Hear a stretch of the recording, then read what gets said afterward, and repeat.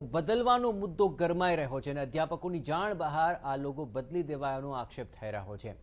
પિસ્તાળીસ અધ્યાપકોએ board of ડિરેક્ટરને પત્ર લખી આ અંગે વાંધો ઉઠાવ્યો. અમારા માટે આ વાત સંપૂર્ણ આશ્ચર્યજનક હોવાની વાત અધ્યાપકોએ જણાવી. આ નિર્ણય પ્રથાઓના મૂળભૂત ઉલ્લંઘન સમાન હોવાનું બકુલ ધોળકિયાએ જણાવ્યું. આયામ એના ડિરેક્ટર રહી ચૂકેલા છે બકુલ ધોળકિયા અને ચાર માર્ચની બેઠક બાદ આયામ બોર્ડે નવા લોકોને મંજૂરી પણ આપી દીધી.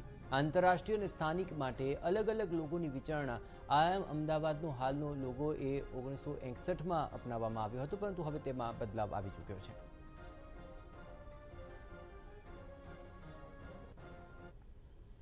અમદાવાદ આઈઆઈએમના લોગોને લઈને વિવાદ સર્જાયો છે, કેમ કે નવા બે લોગોની પસંદગી કરાઈ છે, તેમાં એક લોગોમાંથી સંસ્કૃત વાક્ય, સંસ્કૃત શબ્દ જે છે તે દૂર કરવામાં આવ્યો છે અને આ વાક્ય દૂર કરાતા આ વિવાદ સર્જાયો છે.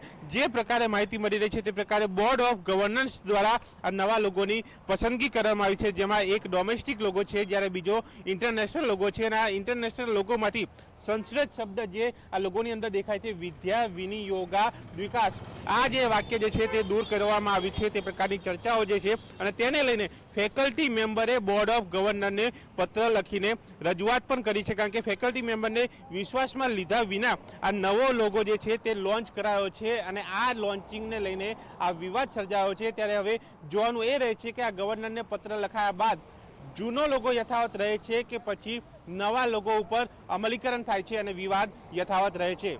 કેમેરામેન નટપરમા સાથે દર્શન રાવલ ટીવી નાઇન, અમદાવાદ.